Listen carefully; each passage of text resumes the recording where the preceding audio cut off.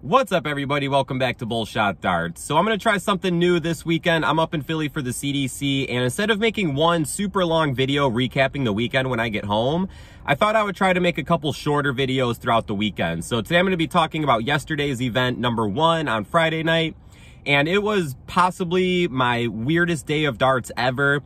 I got two really big wins, one against Danny Lauby, which is hands down my biggest darting victory and I'm not even happy about it. That's how weird yesterday was. So we'll be talking about that in a second here, guys. But first, if you are new, please make sure that subscribe button. It's Bullshot's mission to grow the sport of darts and also go check out bullshotdarts.com. I'll be having my shirts for sale up on there soon. And I actually just got a compliment on this shirt when I was at Starbucks. And that's one thing I'm really going for Bullshot is that it's not just for dart players. Even non-dart players will find this stuff cool. Uh, so that's the plan to get, you know, the bullshot name out there and kind of subliminally implant darts in people's minds with it. And hopefully that will help grow the sport. So make sure you guys keep an eye out for my first shirt release. All right, guys. So let's talk about yesterday. Like I said, it was an absolutely weird day of darts. So I drove from Chicago to Philly about 14 hours. I slept in my car Thursday night and I was rushing to get here. I thought I had some extra time to where I could relax, but I didn't. So I rushed to the venue and I got there like five minutes before check-in closed. So I was running around trying to get in, check in. And instead of sitting down and relaxing, I took out my darts and was like, okay, I need to practice. Even though it was going to be at least an hour until the event started, but I my mind was just so scrambled up. So I pick up my darts and I'm warming up. I'm shaking a lot. I can barely hit the 20, let alone the triple 20. And I was like, okay, I need to just sit down and take a break. So I sat down, relaxed, uh, you know, there was a lot of people there, of course, so it's been a while since I've seen everyone, so I did some socializing, talking, and that really helped calm me down. And then I got on a practice board with a couple people I had just met, and uh, a friend, Ryan Freary. I've talked about him before. We've gone back and forth playing. Uh, we expect to play each other this weekend sometime, but so it was nice to just talk to these guys. Danny Baggish was there, uh, so it was cool, you know, to see him throw, and yeah, so I started feeling really comfortable during warm-ups. I was like, okay, I'm ready for the day. I think I'm going to shoot really well. I was feeling better than I felt at other tournaments where I ended up throwing 90 plus averages. So going into the tournament, I was feeling really, really good with my darts. So this is where the whole weirdness and the bipolarness of this day starts. So I look at the bracket, it finally gets called, and I got Alex Spellman in my first round. Now, if you don't know who Alex Spellman is, you need to do some research because this guy is an animal on the dartboard and he just won the CDC, I think the CDC shootout in Washington. Uh, it was less than a month ago. He beat Danny Baggish in the finals. So he has been on fire lately and I got to play this guy in the first round. And then I look on the next step of the bracket. If I manage to get by him, I got to play Danny Lauby. so like right when this tournament starts, I'm like, holy cow, like I got a tough draw. But my darts are feeling so good in practice. I'm like, I'm game. Like, let's go. If any day I was to have these matches, today would be the day because I was feeling so good. So I get on the practice board. Me and Spellman are warming up and I'm shaking, like uncontrollably shaking. Every time I bring my hand up to the board, like I don't know how I was how I managed to stay. Well, I didn't stay steady this match, but I managed to throw well. I ended up getting the win, five to four. I averaged an 80, but it was such a weird match because, like I said, I was shaking so much and I was rushing myself, but I was still hitting my targets pretty well. But when I was missing, I was missing really bad. So the opening leg, I started strong. I hit a 177 to leave myself 24 after 12 darts. So I'm sitting on 24 after 12 darts, going for this 13 dart game to start off. My first dart at the double 12, I hit a double nine. So I'm just like, oh my gosh, like this is bad. So now I go down to the double three, miss, miss. Spellman comes up. I don't remember if he was on an out or not, but regardless, I got three more darts at my double. Miss, miss, miss. Spellman comes up and wins the leg. And he won the bowl, so that was to steal the throw and start the second leg with a 1-0 lead. And I completely blew it. So he gets the win. I, like I said, I'm shaking. That's why I hit that double nine. So now I'm just like, all right, well, at least I can score decent. So I still was scoring well. And we went back and forth the whole match. We held throw all the way until the last leg. So 1-1, 2-2, 3-3, 4-4, and then eventually 5-4. The second to last leg, Spellman missed I think it was like five or six, no, it might have even been more than that. Uh, oh geez, I can't remember, but he, he was missing a lot of darts at double, which is not like him. So me sitting back here, he was up 4-3 on me. And I'm like, okay, well, this, you know, th my day is over. I'll get ready to chalk my next match. But he misses three darts. Like, all right, well, I guess I'll keep scoring and try to work my way down. And I did. And then he went up there, same thing. I'm like, well, at least I tried. And then he missed three more darts. And I was able to come up from behind and steal that leg to bring it to 4-4 to the sudden death leg. So I know that he's, you know, not feeling that well after missing those match darts. So I know I need to throw really, really well this leg to have a chance. And I didn't. he scored down the board and he beat me. I was in triple digits when he was thrown at a double. And same thing, he started missing doubles again. And I'm just sitting back there like, well, if he's going to leave the door open, like, I got to try to take advantage of it. So I don't remember how many darts he missed, but eventually I was down to 112 and I missed my single 12 or I missed my first triple 20 and you know in a situation like that it's so important to get that first triple because then it's a lot of pressure off you. It's like okay just single double. But when you miss that first single it's like okay now I have to hit this triple on the second dart so I hit I, thankfully I hit low on the 20 because the way my darts come in if I miss high that completely blocks the shot so I was able to sneak a dart on top of it and hit that triple 20 so now I scored 80, 32 left. I had to take a step back because I was shaking so much. Uh, my nerves were getting the best of me. So I take a step back, take a couple deep breaths, and I go up. I'm still shaking. I throw, and it hit the very bottom corner of the double 16. So when I missed low on that double 12 in the first leg, you know, I hit the double nine. That's kind of how this start was. It was like really low, but it barely got in that bottom corner and I ended up getting the win. So that was an absolutely crazy match. And after that, I ended with the 80. And yes, I was shaking, but my darts were still feeling pretty good. So I was like, all right, cool. Like I got this win. I got a lot of adrenaline. I got some momentum. And then they announced that I'm playing Danny Lauby on the stream board.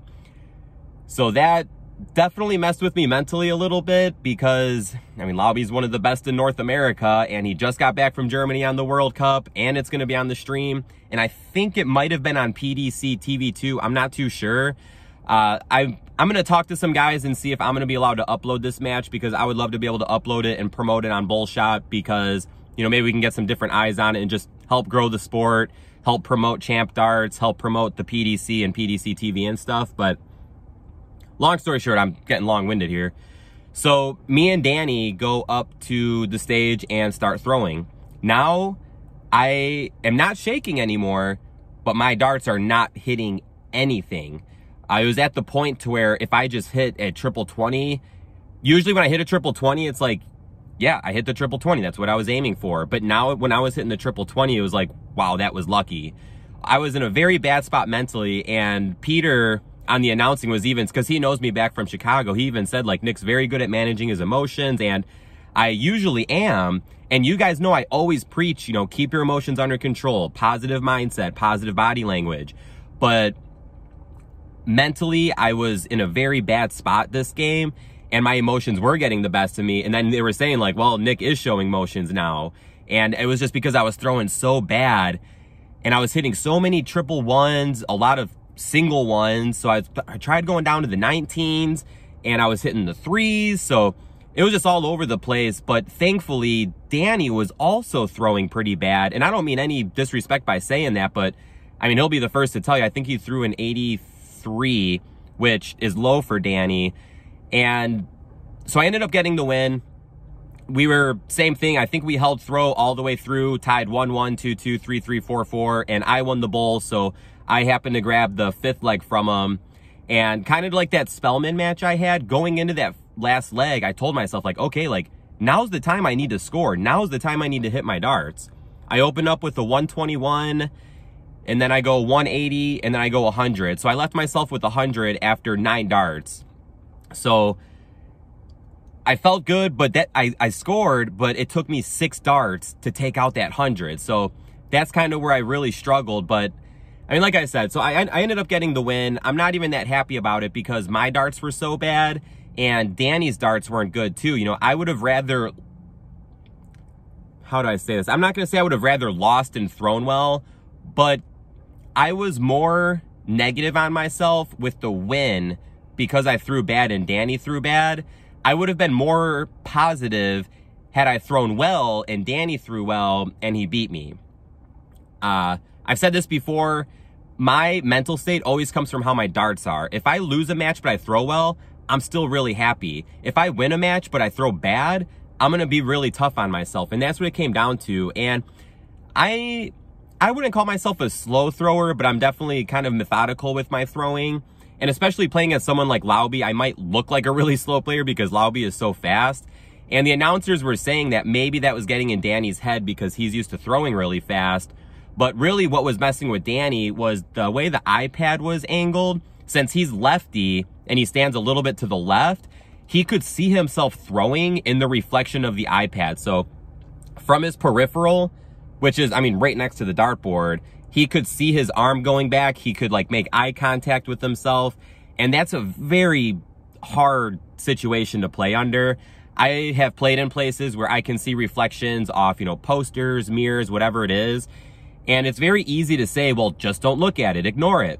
But when you're in the situation in a competitive match and you see that, it definitely is going to mess with you. So going back to what I was saying, like, yes, I won and it's my biggest win I've ever gotten. But at the same time, I'm not even really thrilled about it. I was more disappointed than anything. Like, if you watch the match, like, I was shaking my head no because I, it was just a really weird match. Both of us didn't shoot well, and I just managed to get some doubles when I needed to. And I think that's a part of my game that is my strongest part of the game. Sometimes I get in these gritty matches and I'm not scoring that well, or maybe I am scoring well, but if someone leaves the door open for me, I'm pretty good at getting those doubles to take advantage of those missed opportunities. So against Spellman, when he was missing those doubles, you know, I was coming from behind and taking them out when I had my shots at it. He may have had more darts at the double, but when I had my opportunities, I was able to hit it. Uh, the first leg against Lauby, uh, he missed one or two darts at a double, and I went up with 74, and I had one look at the double because I had a single 14, single 20, one look at that double, and I nailed it. So I was able to take my chances when they were there, but just overall, my darts were not good. So that's why I say it was like the weirdest day of darts ever because I beat Alex Spellman. I beat Danny Lau. I, I shouldn't even say I beat Danny Lauby because he really beat himself. Danny Lauby did not throw Danny Lauby darts. I mean, you guys just saw him in Germany in the World Cup. If he threw even half as good as he did in Germany, he would have whooped me. So I don't even like to say that I beat him. He beat himself in that match. But I don't know. I like I said, it was just a super weird day my darts were sometimes there, they weren't, but at the end of the day, I was just very disappointed with myself. And I didn't even get to my last match. So my final match, I don't even want to talk about this match that much because this was just terrible. I threw a 69. In a top 16 match, I threw a 69. When I threw against Lauby, my darts were bad. I still threw a 76, which is not good, but I expected it to be worse.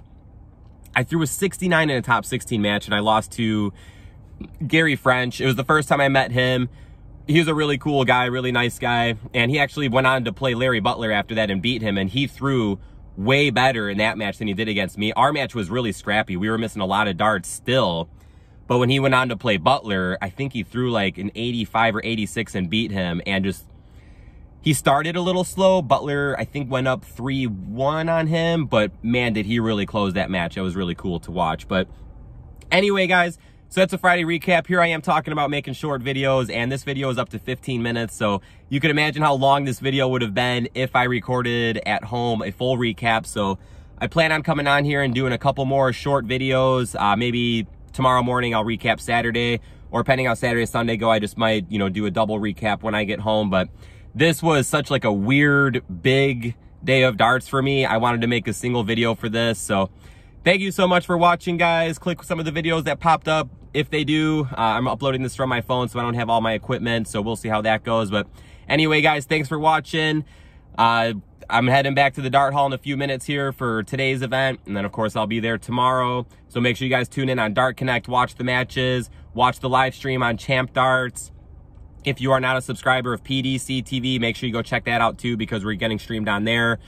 Uh, these weekends are huge for North American darts because this is where the best talent gets to go and play and it's being streamed everywhere. So we need to support, we need to make this work because darts is getting huge here, guys. I'm rambling, sorry. I'll see you all in the next one, guys, and shoot well.